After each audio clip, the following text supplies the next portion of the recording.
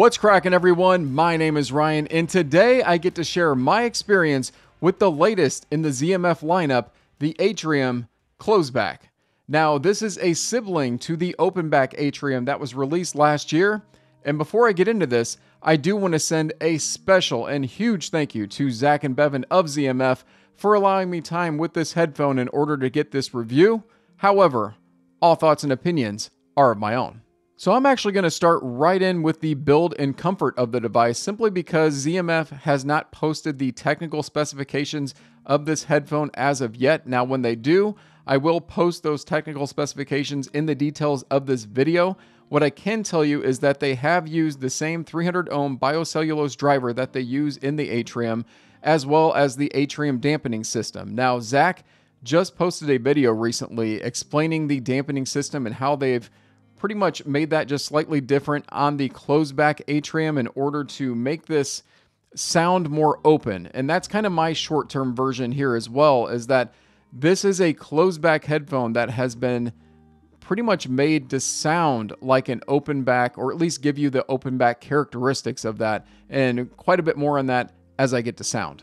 All right, so as far as build goes, this is typical ZMF. And what I mean typical ZMF is that there is some tender loving, just attention to detail when they create this functional piece of art.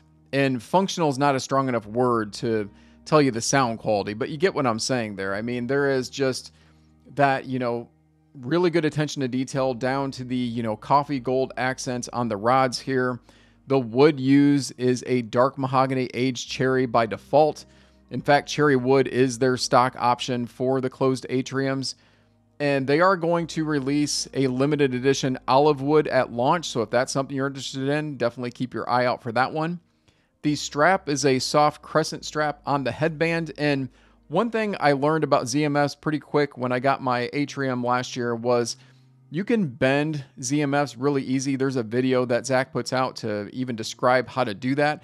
So I was able to do that with this one right away when I got it, and it just fit right to my head. I had no hot spots or anything like that.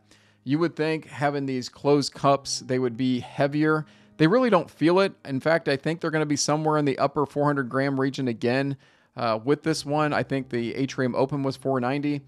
And because how the weight's just evenly distributed on the head, and once you get it set right, it just it fits comfortable on my head and it fits really nice and was a good comfort. The last thing I would say on the wood is the one thing that is really special about ZMFs and that wood as you know will age in its own way over time and that's why they like to use cherry because of how cherry can age over time and it truly will become a one of a kind headphone when you own one of these and that it'll just have its own distinguishable distinguishable marks and ways to tell yours apart from somebody else. I don't know. I just think that's really cool about ZMF and the fact that you know this is going to be my well not this one but you get what i'm saying. This is going to be you know your own piece of art that you get to own and listen to over time. All right so before i cover sound let's talk measurements.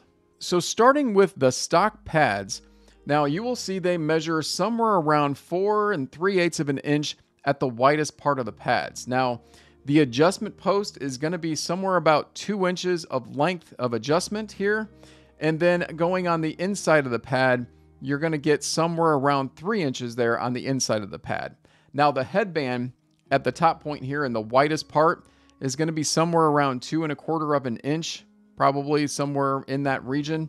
And then finally, the cups themselves, this big, massive wood cup that you get on the atrium, it's going to measure from the point it makes contact to one side of the pad to the other side over here about six and a quarter inch. Now, if size matters for sound, now you know.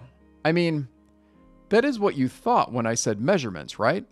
All right, so sound wise, I want to let everybody know that I did start with the stock leather pads that ZMF and Zach recommends to listen on. Now, for those of you with a keen eye, you'll notice that these are actually the suede pads sitting on the closed atrium right now. So, with the leather pads, uh, and actually just to kind of tell you what I used the entire time for my DAC, I use my RME ADI 2 DAC. Now, I don't care to use the amp on that for ZMFs because they are an, a headphone that requires some power, and I don't think the 2 DAC has sufficient enough power for something like ZMFs, at least in my experience. So I went ahead and I plugged in directly to my Monolith Liquid Platinum, went out balanced through my XLR, and that was my first listen. And in fact, the first track I threw up was an Adele track. Now, don't ask me which song it was because I've listened to several, but I will tell you it was Adele because I remember distinctly remembering listening to vocals and thinking, wow, this is not what I was expecting. So there was good low end. I figured there would be. There was good airiness and sparkle actually up top. But I felt like I was sitting pretty far back in a stage listening to Adele. In fact, what I'm saying is that it just wasn't a brought forward mid range, upper mid range listen, listening to her voice. And it was interesting to where I thought, okay, I need to really put this on some other track. So I went through the gambit of my genres. I listened to hip hop, I listened to, you know, rock, heavy rock, listened to metal, classical, jazz, I mean, you name it. I threw everything at this and pretty much came out with the conclusion that at least with that particular pairing, yeah, mid-range was very relaxed in that upper mid-range. So, what I decided to do next was I have on loan right now the Cayin IHA6, which is a solid state amp that is said to be really good, at least with high impedance headphones. In fact, it's one that Zach recommends on his site. So I went ahead and I went the high impedance out of the single ended on that.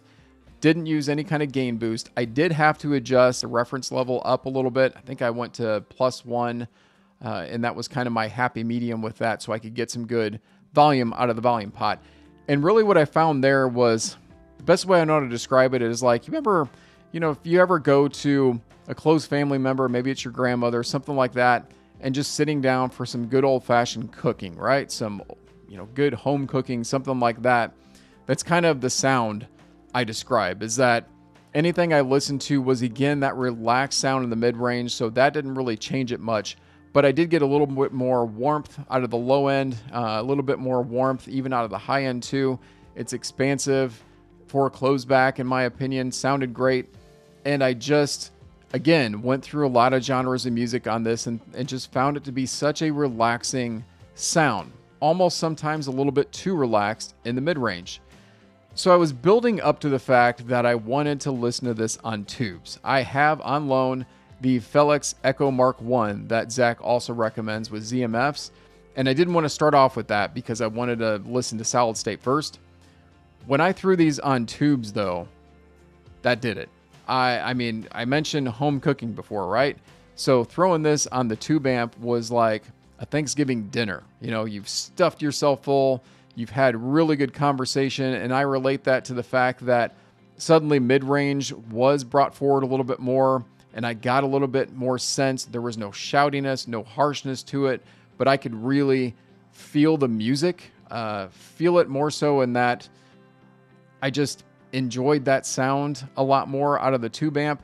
There was, uh, you know, as I said, the bass was was good and full and boomy, wasn't muddy or anything. It also wasn't snappy or sharp or anything like that because it's a tube. It's a little relaxed. Again, was a relaxed sound, but such an engaging, relaxed sound. And I mean, it got to the point where I was just, you know, sitting back and listening and just really enjoying that sound on the closed back atrium out of the tube amp to where I finally decided, all right, I got to switch the pads because ZMF always tells you you're going to get different flavors with different pads. And I wanted to listen to the Suede Caldera pads. That's what I'm going to talk about next. And so this is what excites me about ZMF, guys.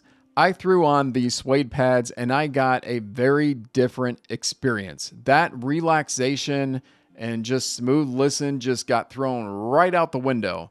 And it suddenly became an aggressive, just in your face type listen. So I first listened on the Liquid Platinum once again, and I actually didn't really enjoy that synergy because it was almost a little bit too harsh and a little bit too shouty at times.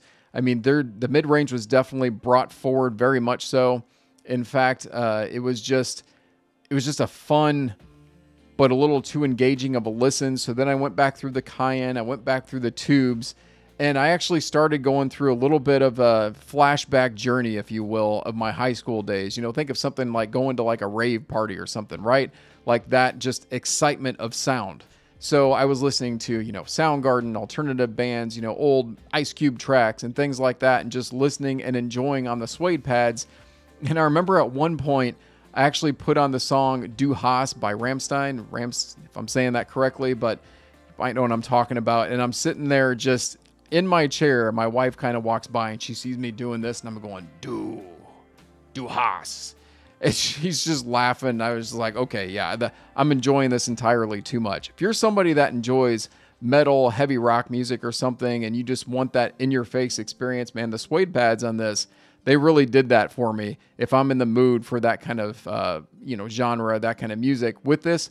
But then I will say, even when I threw on vocal focused music, right? And female vocalists, uh, Rihanna's new song, things like that, I was enjoying that on this as well. Even though it wasn't necessarily relaxing so much, the soothing voice was up front more, and I loved that sound. And it still retained the stage. It probably felt a little more intimate because it was more in your face, but I could definitely tell there was still that stage there. Bass was probably a little bit dialed back, a little less gusto, I would say, but it definitely was non was not non-existent just a really cool listen, man, with the suede pads. Now, I don't know if necessarily this is my preferred pad on this headphone, but that's what I'm talking about. And that's kind of how I think I'm just going to wrap up this video. So let's do that next. So this is a closed back headphone that in many ways sounds like an open back. It's got good stage, it's got airiness to it. It does have good bass, so it definitely keeps that part of the closed back. The dampening system that Zach puts into place here, I think, is very unique in that I would say tones and notes don't really have that sharp cutoff and then on to the next. It's more of like a, a hit and it kind of fades away into the next one. So, you know, if you're more of an analytical listener, maybe that's something you won't like. But then if you go to the suede pads, you can kind of get that sound a little more so. So it's very unique in that. And also, I would say, you know, talking about the leather pads, actually this is really great for gaming too i gamed with this headphone i'm going to game with all my headphones i you know get a chance to listen to and especially with the leather pads because you did have that space and imaging is great there. And it's kind of somewhat of a v-shaped tuning at times i would say because of the upper mid-range not quite being there. It really lends itself well to gaming with those set of pads for me. And then i just think for multiple genres in general you know you can switch out the pads and get some excitement or get some relaxation out of it. I mean, this is the special sauce that Zach and ZMF put into their headphones and something that I really appreciate because this is something different. And I am all for something different. All right. One thing I am going to tell you guys is I am going to do a comparison video here soon with this in the open atrium as well as probably the Caldera and then maybe other closed back headphones that I either own or have heard. So definitely stay tuned for that. Hopefully you guys enjoyed this video. If so, please smash that like button. And if you haven't done so already, I would love if you subscribe to the channel because as I said, I've got more things I am going to work on. All right, guys, I thank you for watching. And until then, I will see you in the next one. Du hast.